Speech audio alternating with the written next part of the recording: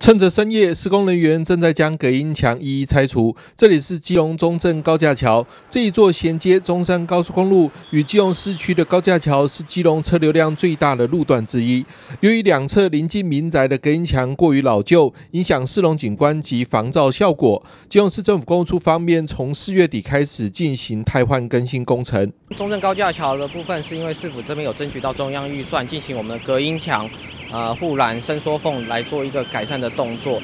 那目前在四月的二十二号开始起，我们已经针对中正高架桥的南下侧隔音墙，已经在做一个进行拆除的动作。那拆除完成之之后呢，我们也会将相关的呃隔音墙上去。那另外针对护栏的油刷、油油漆粉刷的部分，也会逐步进行。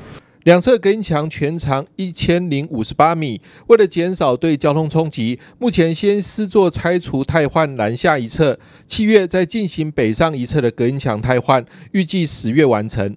那预计是在四月下旬到七月。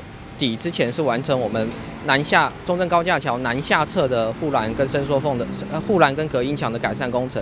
那七月下旬到十月的上旬，呃到九月底的部分会完成我们北上侧的隔音墙护栏。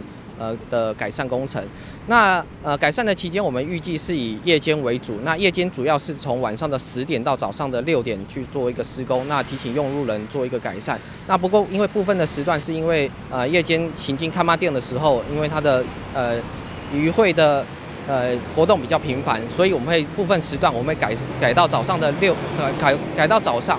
那改善的时间是从早上的九点到下午的四点。整个工程经费八千五百万，除了汰换隔音墙，路面伸缩缝部分也将同步进行更新，减少车辆经过时因为跳动发出的噪音。夜间施工期间，高架桥将进行封闭，请驾驶人配合改道校二路行驶。记者张启腾、金勇报道。